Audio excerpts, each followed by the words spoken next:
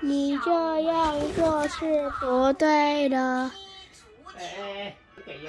的呀。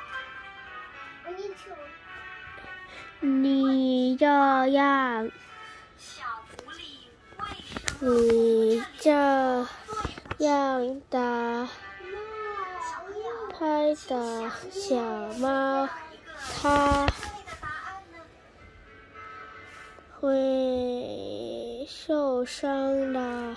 我们应该爱护动物，不能欺负它们。听了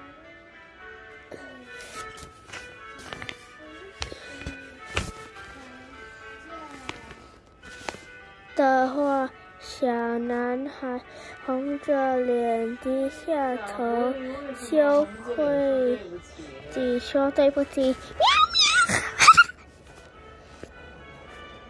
这时，猫妈妈。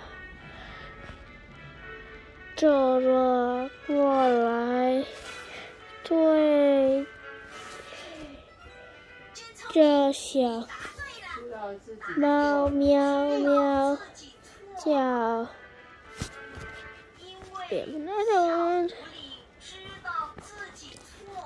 对小男孩说：“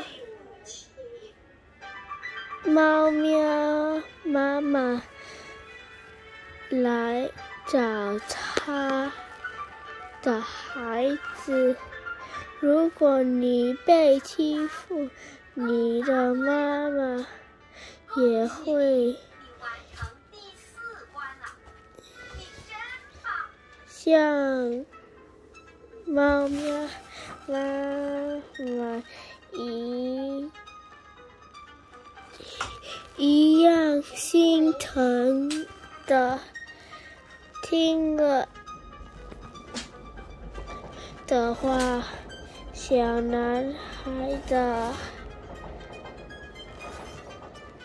喂脸红着，红着，红的，红的番茄不。不好自己说：“我错了，以后再也不欺负小动物了。”